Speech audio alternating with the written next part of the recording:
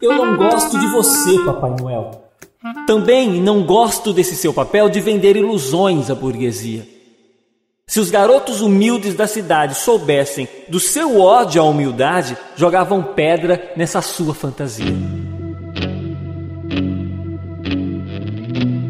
Monólogo de Natal de Aldemar Paiva.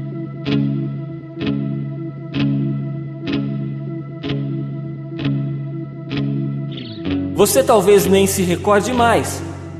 Cresci depressa, me tornei rapaz, sem esquecer, no entanto, o que passou. Fiz-lhe um bilhete pedindo um presente e a noite inteira eu esperei contente. Chegou o sol e você não chegou. Dias depois, meu pobre pai, cansado, trouxe um trenzinho feio, empoeirado que me entregou com certa excitação.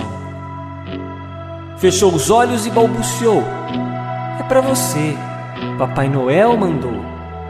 E se esquivou, contendo a emoção.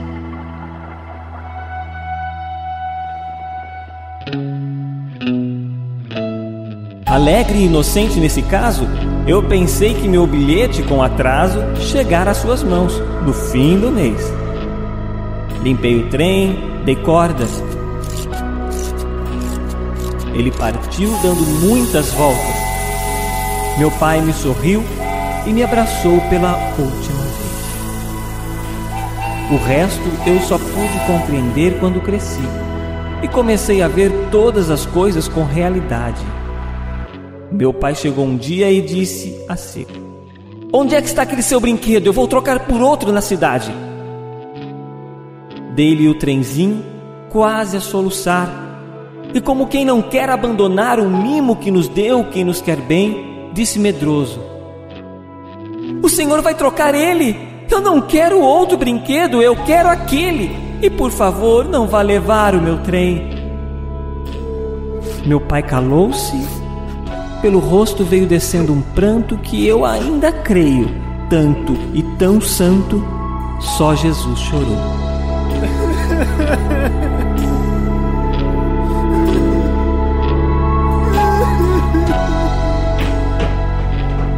Bateu a porta com muito ruído. Mamãe gritou. Ele não deu ouvido, saiu correndo e nunca mais voltou. Você, Papai Noel, me transformou num homem que a infância arruinou. Sem pai, sem brinquedos. Afinal dos seus presentes, não há sequer um que sobre para a riqueza do menino pobre que sonha o ano inteiro com o Natal.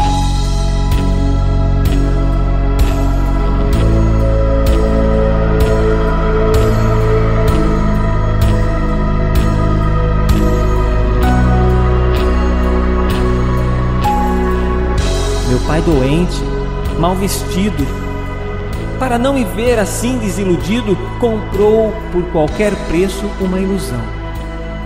E num gesto nobre, humano e decisivo, foi longe para trazer-me um lenitivo, roubando o trem do filho do patrão.